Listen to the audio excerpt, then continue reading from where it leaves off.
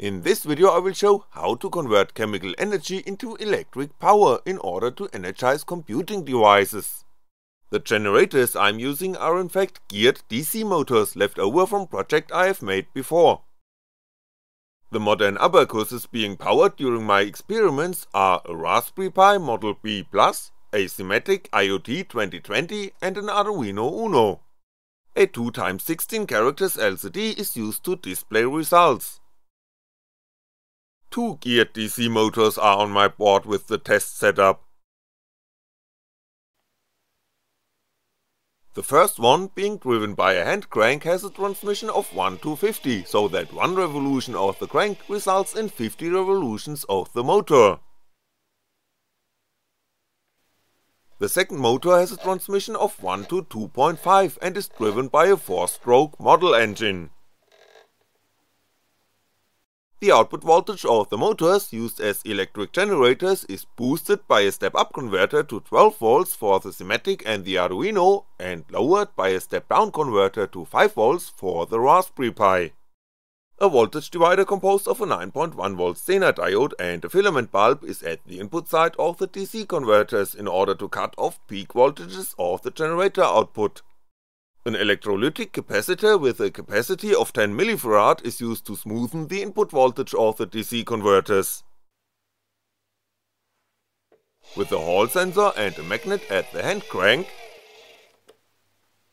as well as on the motor coupling of the 4-stroke engine, the revolution speed can be detected. First I'm connecting the Simatic IoT 2020 using the hand crank to power the device. I am burning the chemical... Sorry. I am burning the chemical energy of a peanuts bar in my body in order to turn it into mechanical power. While turning the crank, the mechanical power I am generating is turned into electric power through the DC motor that is operating as electric generator. It's not very hard to turn the crank, but you can feel a higher mechanical resistance whenever the CPU load is increasing or when peripherals are activated during the boot process.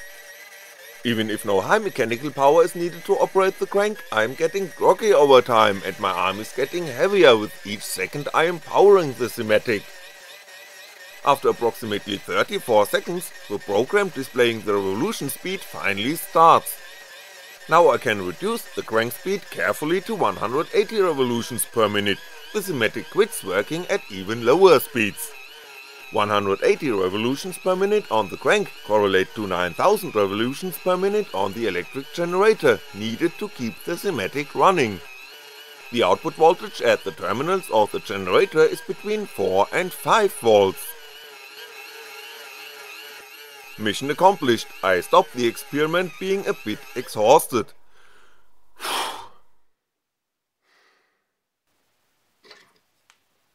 Next candidate is the Arduino Uno.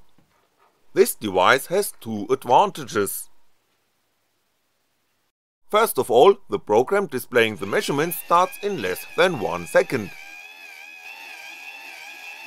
Secondly, a speed of no more than 120 revolutions per minute with low torque on the crank is enough to keep the microcontroller powered. With 120 revolutions per minute on the crank, we get 6000 revolutions per minute on the generator. I can go down to just 100 revolutions per minute on the crank and the Arduino still works fine. With the greatest of ease I could power the Arduino almost forever.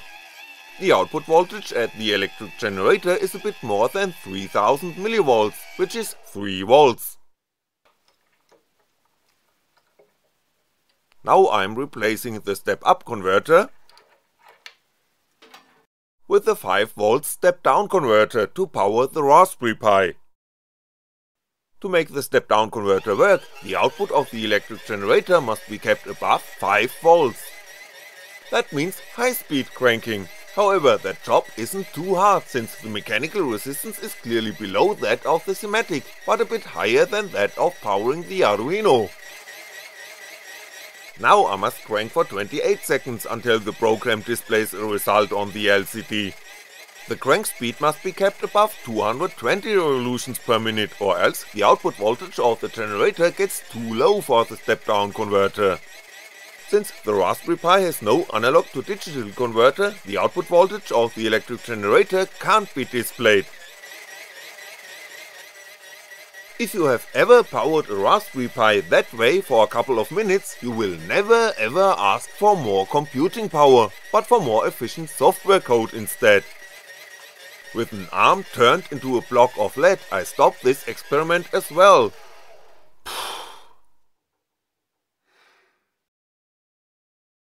Next I'm using the chemical energy stored in methanol and nitromethane to drive the second electric motor. The energy converter of my choice is a Saito FA40 4-stroke model engine shown in a previous video. Again I'm using the Simatic first. To start the motor, the glow plug must be heated by two AA batteries, this electric circuit is insulated from the input voltage of the Simatic. Starting the engine is still a bit of manual work, however after turning the motor a couple of times on the flywheel, it finally gets fired up. As soon as the motor runs, the batteries can be removed from the glow plug, the drawbacks of the convenience this setup offers are the loud sound of the combustion engine and the bad smell coming out of the exhaust, however it's fun watching the tiny power station feeding the computer with electricity. The speed of the engine's crankshaft is 3300 revolutions per minute. With a transmission of 1 to 2.5 we get 8250 revolutions per minute on the electric generator, the resulting output voltage on the terminals of the generator is approximately 12V.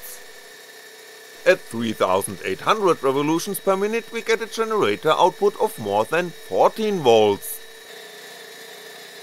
For this experiment I have adjusted the step-up converter to an output of 16V. The upper limit of the input voltage of the Simatic is 36V, so we are still on the safe side. Next candidate is the Arduino Uno. The minimum speed of the combustion engine is approximately 2500 revolutions per minute, shutting the carburetor even more will kill the engine. The output of the electric generator is between 8 and almost 10 volts. When opening the carburetor slightly, the crank speed goes to 4000 revolutions per minute by what the voltage is increasing to nearly 18 volts. As you can see, the filament bulb starts glowing at higher revolution speeds, the excess of electric power is dissipated, a small fraction is emitted as visible light. Even when driving the generator with a 4-stroke combustion engine, the low power consumption of the Arduino is an advantage. To power the Raspberry Pi, the step-up converter is once again replaced by the step-down module, the combustion engine can power the Raspberry Pi easily as well. 3600 revolutions per minute is displayed as the 4-stroke motor speed. In my experiment, two energy converters developed in the 19th century power computing devices of the 21st century using methanol.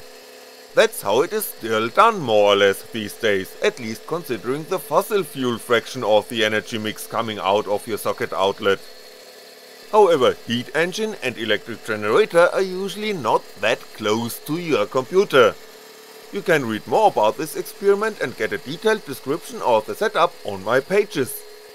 With a tank capacity of approximately 100ml, the combustion engine of this experiment runs for about 20 minutes, the overall efficiency of the setup is horrible.